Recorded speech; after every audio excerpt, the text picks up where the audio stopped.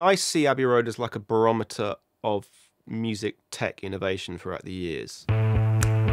So Abbey Road Studios opened in 1931. It was the world's first purpose-built recording studio.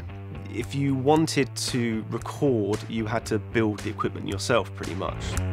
That ethos of recording innovation has been embedded in Abbey Road from day one.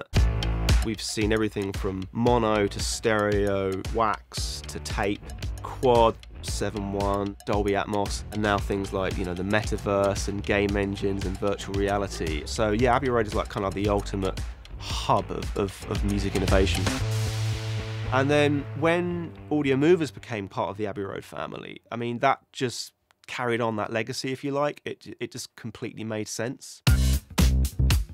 I find it really exciting that Audiomovers are now part of the Abbey Road family and we have like super talented developers you know, working here with the Abbey Road engineers.